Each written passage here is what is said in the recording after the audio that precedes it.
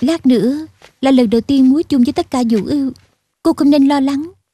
Chỉ cần múa như mức độ bình thường tập luyện là được rồi. Chỉ cần làm theo cô Không sao đâu.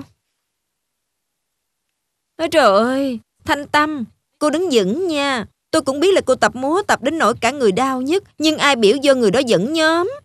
Cái gì? Ngọc Yên cô nương dẫn nhóm Thì tôi múa theo. Người đó dẫn nhóm Tôi coi như không thấy.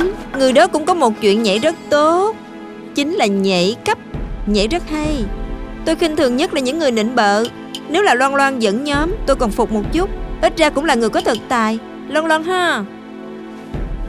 Kỹ năng của Tại Sơn tuy không xuất sắc như những thượng ưu khác Nhưng đối với việc cô ấy có thể dẫn nhóm hay không Thì tôi chưa biết được Cho nên tôi không muốn xét đoán nhanh vậy ha, Vậy nghĩa là mọi người đối với việc dẫn nhóm của người đó Không có lòng tin rồi. Dương Thiên Nếu như cô không phục tôi dẫn nhóm Tôi có thể đổi vị trí với cô. Không chỉ là lúc tập luyện, Mà lúc biểu diễn chính thức cũng được. Vì tôi thật sự rất muốn chúng ta có thể hợp tác cùng nhau Diễn tốt buổi diễn này. Bây giờ cô cố tình làm khó tôi hả? Tôi chưa từng tập qua điệu múa của cô, Cũng chưa từng tập chung với Ngọc Yên, Sao mà múa? Cô cũng không múa được điệu múa nhóm của tôi mà. Tôi múa được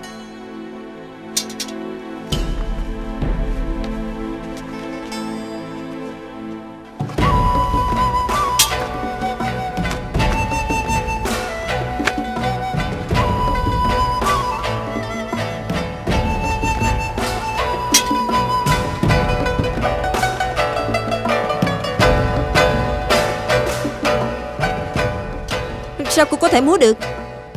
Tại Sơn đúng là rất siêng năng, Ngay cả điệu múa nhóm cô ấy cũng học. Đúng là đáng để chúng ta học tập, Mọi người nhìn thấy đó. Cố gắng mà Tại Sơn bỏ ra nhiều hơn bất cứ ai trong chúng ta. Dương Thiên Cô ở đó tự cao tự đại, Chỉ bằng làm tốt bổn phận của mình đi. Ai cho rằng mình có thể múa được điều của Tại Sơn? Thì đứng ra đi. Nếu mọi người đều phục tôi dẫn nhóm, Lần này là do tôi dẫn Tại Sơn múa cũng giống như tôi dẫn nhóm vậy.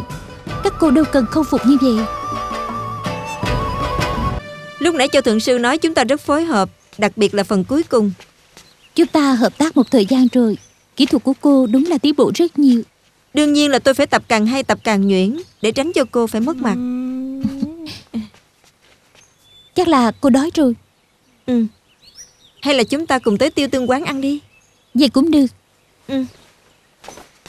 Đại nhân Trùng hợp gì? Ra ngoài ăn cơm hả? Đúng vậy Hay là đi ăn chung đi Không, Không cần, cần đâu. đâu Sao hai người lại đồng thanh như vậy Đâu, đâu có, có. À, à, à da, tự nhiên bụng của tôi đau quá Tôi khó chịu lắm Hai người cứ đi đi. Đại nhân ừ? Vậy con ngài Ồ đột nhiên tôi nhớ ra có hẹn với đầu thuốc có công sự cần bàn à, Cô đi đi ha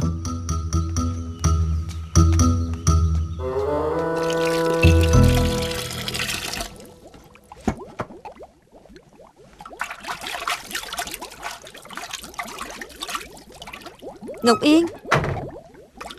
Không phải cô đi ăn cơm chung với đại nhân sao? Ngài ấy bận quá nên không ăn. Suốt cuộc là ngài ấy tránh tôi hay tránh cô vậy? Tránh tôi? Sao lại như vậy được? Không phải. Tôi cảm thấy hình như cô tránh mặt ngài ấy. Lúc nãy cô nói cô đói bụng Không ngờ vì nhìn thấy đại nhân liền nói là đau bụng. Có phải cô và đại nhân đã xảy ra chuyện gì không? Không. Không có. Tuyệt đối không nếu như không có thì tại sao cô giống như rất sợ ngày ấy vậy ngay cả cơm cũng không ăn?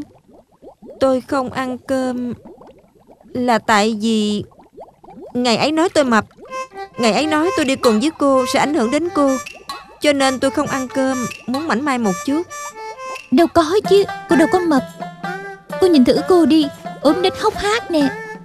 Thì đó Đôi tri đại nhân này thật là khó hiểu. Tôi thật sự sợ ngày ấy nói lung tung. Nên tôi nói Cô phải ăn nhiều một chút. Làm vũ ưu không thể quá ốm Cô phải có đường cong mới có thể quát vũ y được. Đúng vậy đúng vậy. Trước đây tôi đúng là rất ốm. Lần này đại nhân đúng là quá khó tính rồi. Ngài ấy cũng đâu có ốm. Nếu như bắt ngài ấy ăn kiêng giảm cân Ngài ấy làm được không? Ngài ấy nhất định không làm được. Nếu như tôi gặp được ngài ấy tôi sẽ nói giùm cô. À, Vậy không hay. Để tránh ngày ấy nói tôi nói xấu ngài trước mặt cô. Với tình cảm của tôi với đại nhân Ngài ấy sẽ nể mặt tôi Tóm lại sau này ngài ấy ăn hiếp cô Cô nhất định phải nói với tôi. Nhất định nhất định. Không phải đi tìm hình công công sao? Sao lại ra ngoài thành?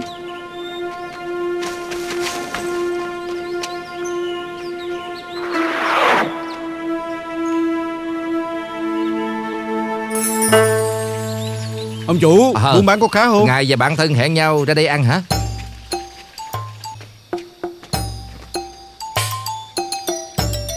Tôi vốn không gì gì Đâu cần phải gì gì. Nếu như không có gì gì á Vậy là tốt nhất. Ông, Ông chủ Đậu hũ thúi Đậu nành thúi thêm một dĩa trứng vịt thúi chiên. Có thể thúi bao nhiêu thì thúi bấy nhiêu.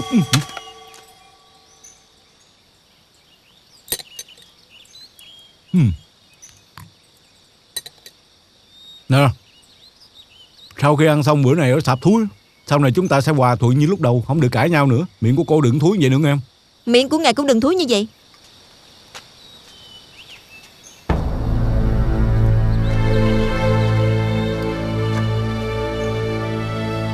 Thì ra đại nhân nhiều lần tìm cớ từ chối mình. Chính là tới đây hẹn hò với Tại Sơn. Cô thích thì ăn nó đi. Ngài ăn đi. Dạo này ngài ốm đó. Muốn giở trò hả?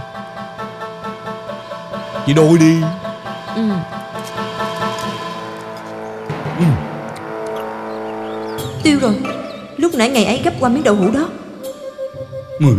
Chẳng phải là có nước miếng của cô ấy sao? Ông Ông chủ, chủ đem rượu rượu đến.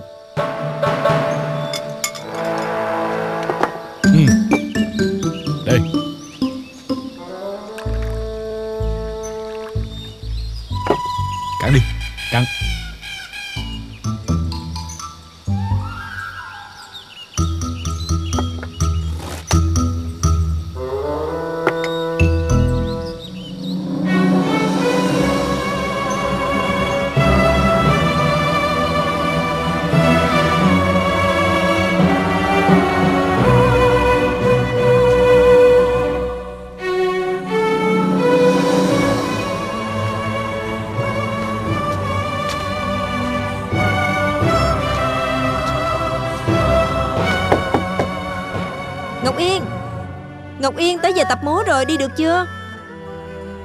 Vào đây đi. Ủa? Cô chưa thay áo nữa. Thường ngày cô rất hiếm khi chậm trễ.